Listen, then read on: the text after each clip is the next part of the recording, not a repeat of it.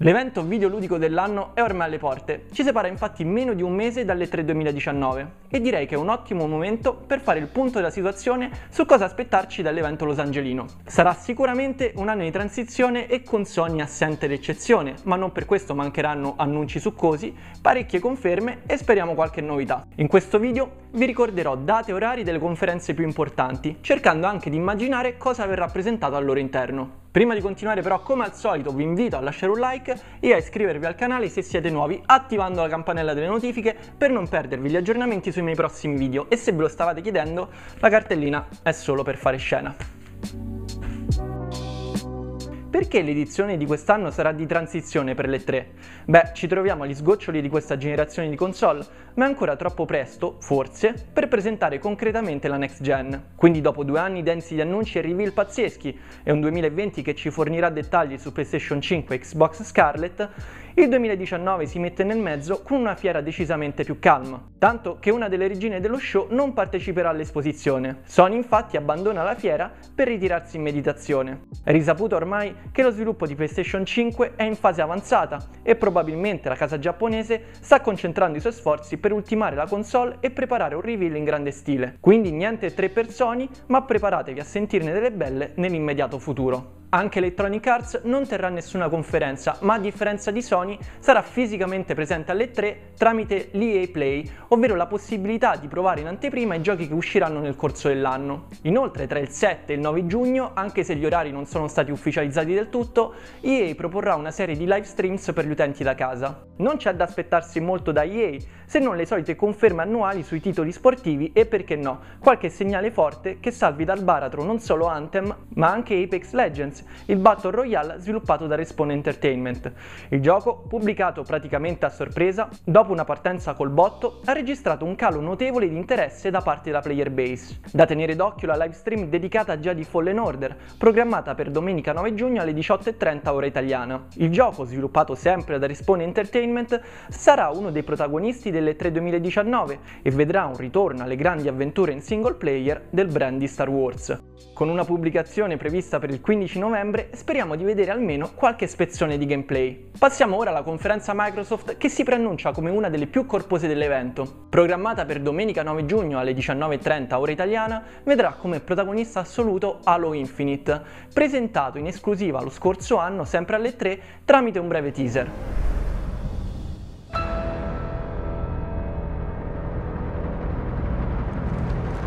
Uno dei titoli first party più attesi è sicuramente Gears of War 5 e inoltre si vocifera il possibile annuncio di un nuovo capitolo di Forza Horizon. Inoltre Microsoft potrebbe decidere di cogliere tutti quanti controtempo e annunciare a sorpresa la sua nuova console, Xbox Scarlet.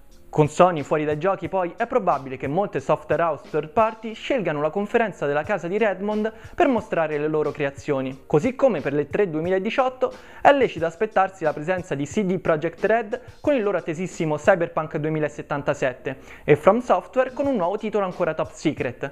Si vocifera però che gli autori di Dark Souls e Sekiro siano al lavoro su Gret Rune, un action RPG open world ad ambientazione norrena. Ad affiancare il team nella scrittura della storia ci sarebbe la l'autore del Trono di Spade, George Martin. Probabile anche la presenza di Dying Light 2, secondo capitolo di uno dei survival horror più apprezzati degli ultimi anni. Orario decisamente più scomodo per la conferenza di Bethesda che si svolgerà alle 2.30 del mattino di lunedì 10 giugno.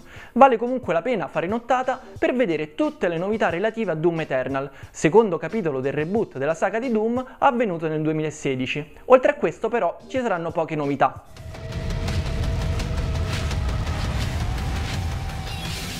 Ci saranno annunci riguardanti titoli minori della serie di Elder Scroll, come per i giochi mobile Legends e Blades, probabili aggiornamenti per Elder Scroll Online, ma nulla riguarda il sesto capitolo della serie principale, di cui ci è stato mostrato un brevissimo teaser trailer lo scorso anno. Dopo un 2018 disastroso, Bethesda però deve riscattarsi in qualche modo. Io mi aspetto un rilancio in grande stile del loro fallimento più eclatante, Fallout 66, l'MMO ad ambientazione post-apocalittica che è stato visto come un vero e proprio insulto soprattutto dai fan della saga di Fallout.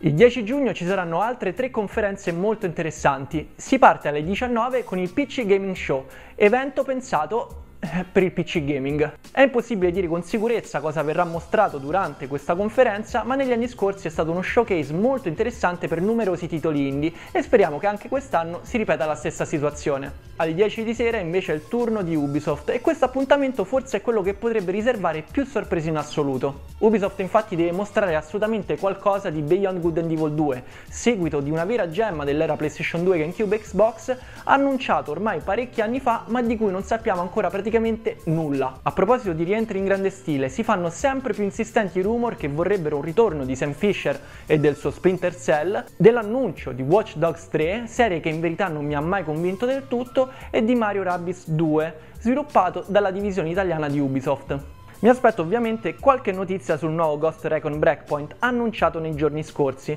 e poi il nuovo Assassin's Creed a tema vichinghi, che è un po' la moda del momento, un probabile Far Cry 6 e perché no, qualche aggiornamento sul quasi dimenticato Skull and Bones. Per gli appassionati dei giochi multiplayer ci saranno sicuramente aggiornamenti ed espansioni per Rainbow Six Siege, The Division 2 e For Honor. A prendere il posto di Sony alle 3 del mattino di martedì 11 giugno c'è Square Enix e preparate il caffè perché nell'orario più scomodo di tutti si trova la conferenza che aspetto di più in assoluto. Non solo potranno gioire gli utenti Nintendo Switch con la presenza di Dragon Quest 11 e Dragon Quest Builders 2, ma anche l'ora della verità per il remake più atteso degli ultimi 20 anni.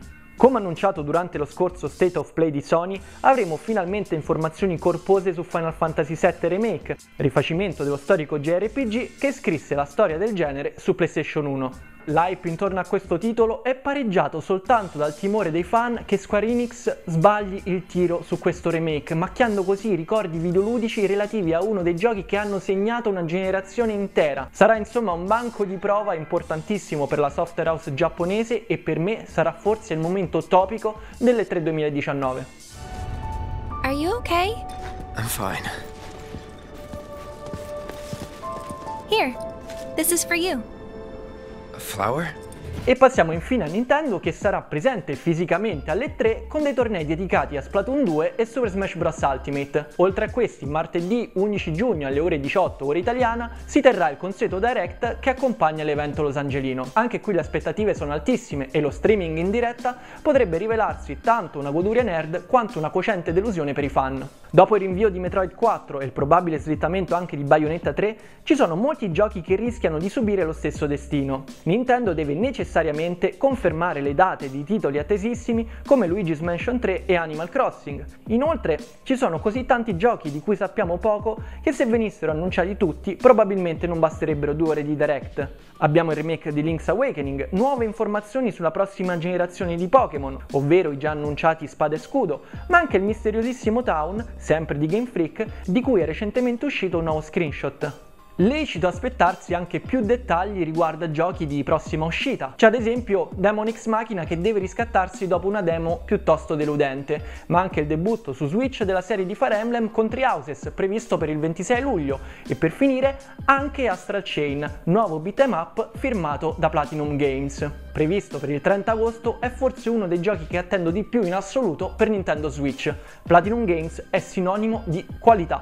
Senza dimenticarsi di Hollow Knight Silksong, il seguito del Metroidvania sviluppato da Team Cherry.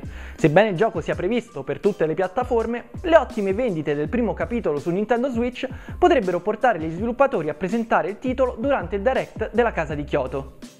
Sono aperte anche le scommesse su quale sarà il prossimo personaggio per il Fighters Pass di Smash Bros. Ultimate.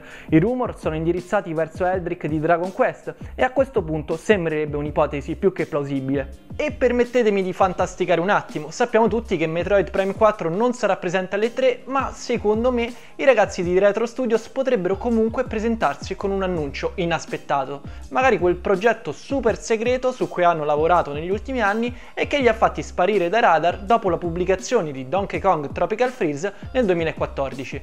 O magari la Nintendo potrebbe annunciare a sorpresa una Virtual Console con tutti i titoli Nintendo 64 e GameCube, o magari un Nintendo 64 mini mini o un GameCube mini, insomma Nintendo, sorprendici. E questo ragazzi era il riassuntone su quello che ci sarà da aspettarsi in questo E3 2019.